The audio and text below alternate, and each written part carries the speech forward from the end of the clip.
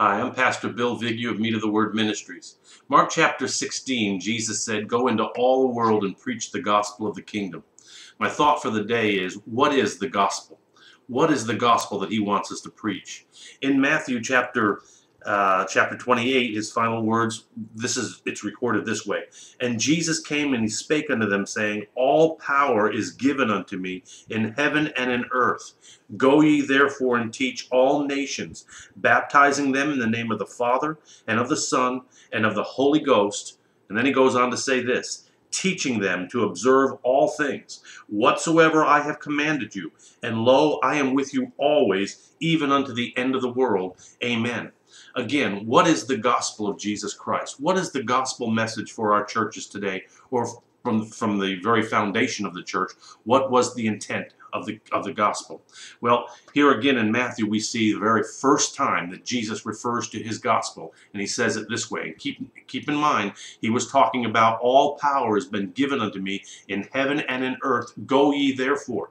He didn't tell us to go without the power that he has. He didn't tell us to go without the power of the Holy Spirit. He told us to go with the power of the Holy Spirit. Without the power of the Holy Spirit, Isaiah 28 says we're going to fall and be broken and taken and fall backwards. God doesn't want us to have an empty gospel. He wants us to have a powerful gospel.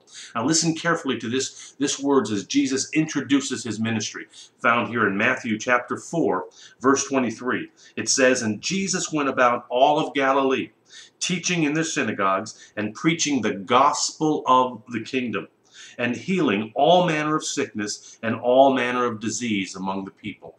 The gospel of power that Jesus is talking about, the gospel of Jesus Christ, is a gospel of power, and it is a gospel that includes healing the sick, all manner of sickness, all manner of disease, and relieving people of all kinds of sufferings, being a problem solver being a peacemaker. That's what God wants to do in our lives. We got plenty of chaos. We got all kinds of difficulties, all kinds of problems. We've got sickness all around us, disease all around us, sin all around us. We're all infected with it, and God wants to, provide a remedy. He is the remedy. He has a solution for every crisis, for every problem that all of us go through. But it's not going to deliver people if we just preach a wishy-washy gospel that just goes ahead and says, hey, here are four little steps, four little principles, four little rules that'll carry you into heaven. Just confess that you're a sinner. Just admit it. That's not enough. Just repent and believe God that He's your Savior and accept Jesus into your life. That's not enough.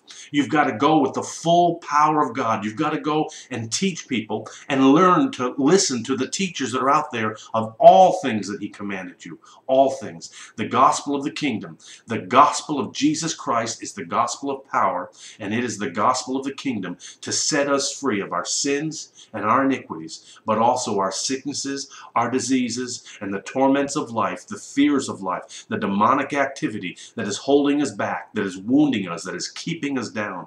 God wants to set us free. He's for you, not against you. He's on your side. He's not trying to break you. He's not trying to destroy you. He's not like the judges of the world. He's not like the Pharisees and the Sadducees that puts burdens on you. He's out there trying to use his fingers, his hands, his church to deliver and rescue you and take the burden away from you.